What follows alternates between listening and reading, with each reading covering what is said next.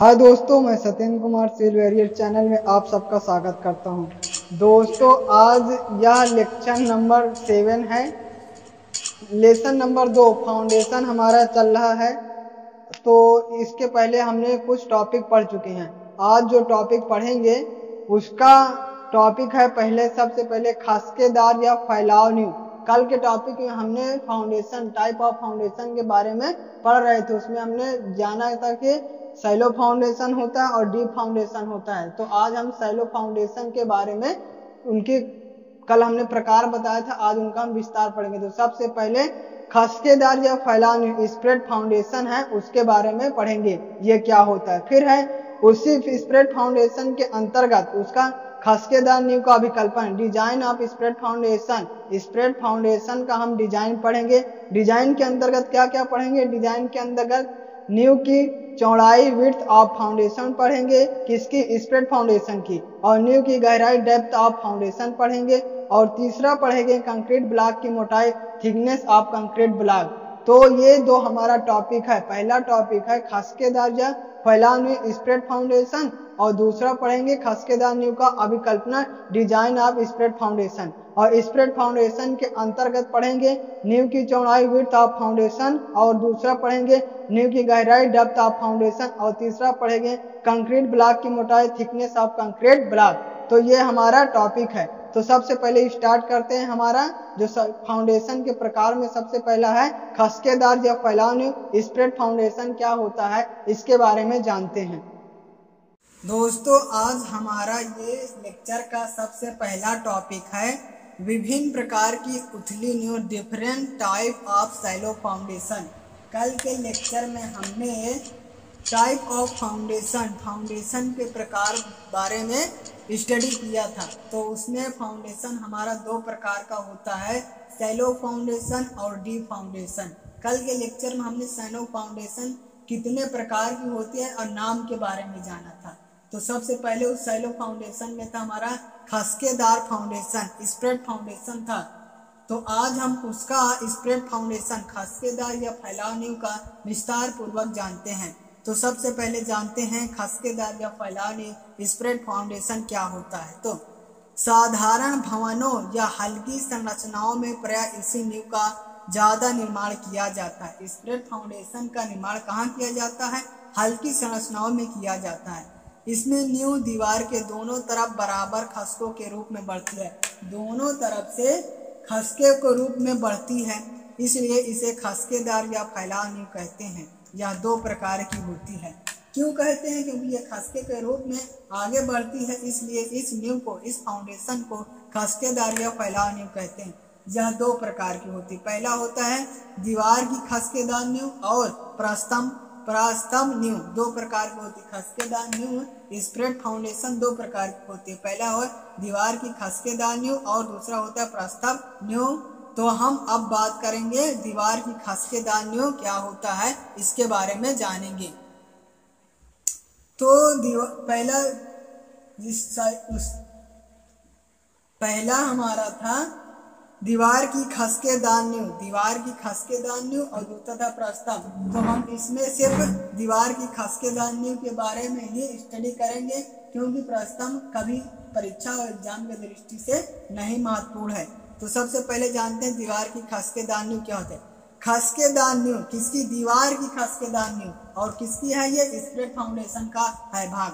तो खसके दान्यू की चौड़ाई के बराबर या इससे कम गहराई का गड्ढा लिया जाता है। जब हम कोई फाउंडेशन तैयार करते हैं, उसकी जो गहराई होती है, चौड़ाई के बराबर या कम लिया जाता है, ठीक है? फिर है की तली में 20 से 30 सेंटीमीटर की मोटाई में एक दो, एक अनुपात दो अनुपात छह, चूना कंक्रीट या एक अनुपात छह, अनुपात बारह की सीमेंट कंक्रीट परत डालकर कुटाई कर समतल तैयार कर लेते हैं। क्या करते हैं? सबसे पहले हम जो इस फाउंडेशन होती है, उसकी गहराई, चौड़ाई के चौड़ाई के बराबर या कम लेते हैं। फिर दूसरे स्टेप में क्या करते हैं? नींव की तली में 20 से 30 सेंटीमीटर मोटाई में एक अनुपात, दो अनुपात, छह चूना कंक्रीट या फिर एक अनुपात, दो, एक एक अनुपात, छह अनुपात, बारह सीमेंट कंक्रीट का परत डाल देते हैं। कुटाई करके और समतल तैयार कर लेते हैं, ठीक है? एक हमारा बेस तैयार हो गया।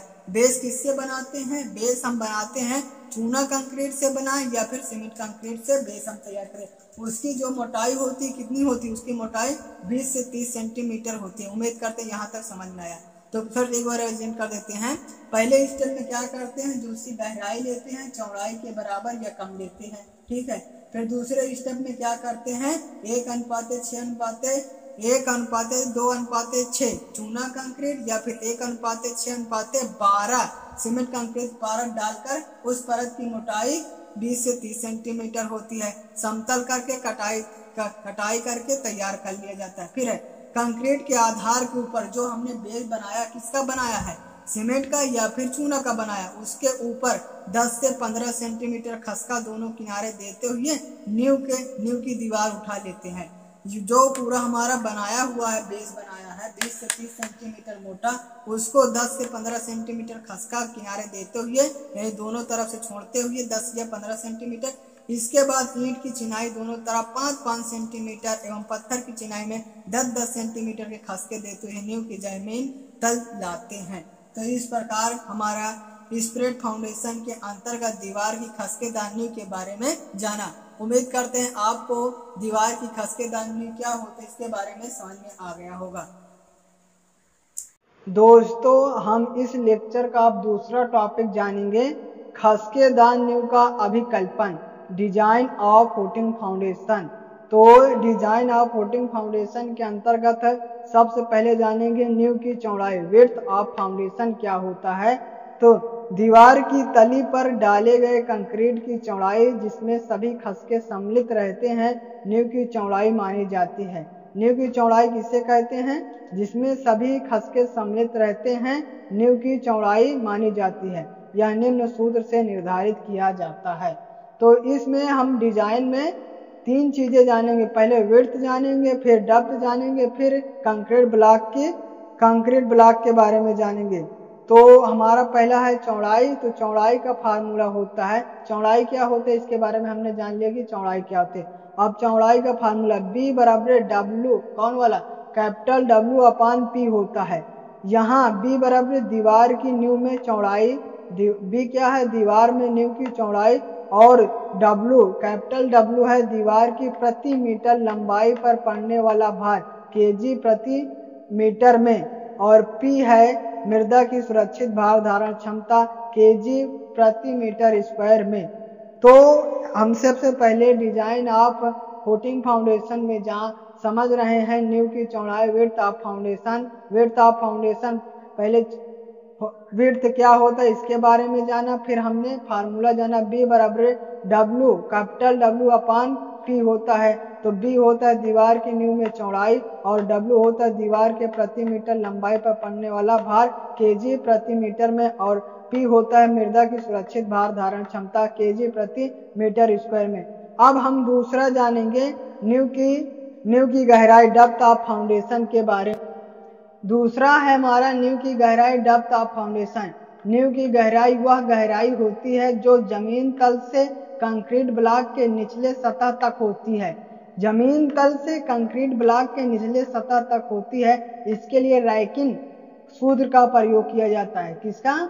डब्थ ऑफ़ ऑफ़ फाउंडेशन के निकालने के लिए रैकिंग सूत्र का प्रयोग किया जाता है। न्यू की गहराई को कैपिटल डी से प्रदर्शित करते हैं। पी बराबर P upon gamma P upon gamma कोष्टक में one minus sine sine one minus sine five upon one plus sine five का होल स्क्वायर होता है।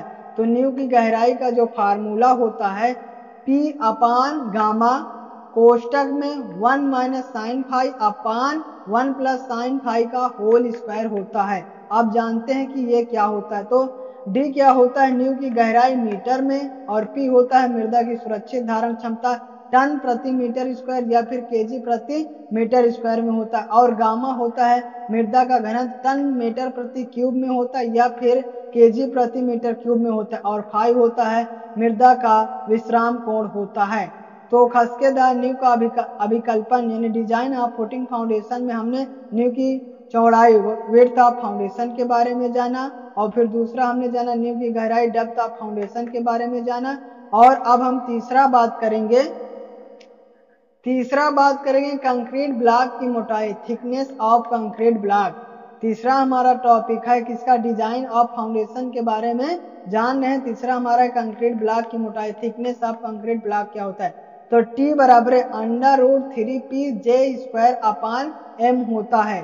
तो जहाँ टी क्या होता है? कंक्रीट ब्लॉक की मोटाई मीटर में। और पी होता है मृदा की सुरक्षित धारण क्षमता, टन प्रति मीटर स्क्वायर में या फिर केजी प्रति मीटर स्क्वायर में, और एम होता है भंजक मापक मॉडुलस ऑफ़ रप्टर इसका होता है टन प्रति मीटर स्क्वायर में। इसका मान चूना कंक्रीट के लिए 1.55 केजी प्रति एमएम स्क्वायर केजी प्रति मीटर स्क्वायर और सीमेंट कंक्रीट के लिए वन वन एक एक अनुपात, चार अनुपात, आठ के लिए 2.45 केजी प्रति मीटर स्क्वायर लिया जाता है।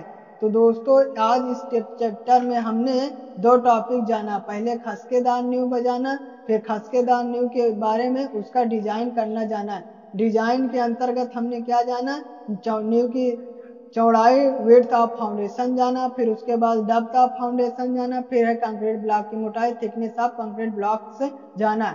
तो उम्मीद तो यह लेक्चर यही समाप्त होता है। यदि यह लेक्चर आपको अच्छा लगा हो तो लाइक कर दीजिए सब्सक्राइब कर दीजिए और बेल आइकन के आल पर क्लिक कर दीजिए और दोस्तों में भी शेयर कर दीजिए। Thank for watching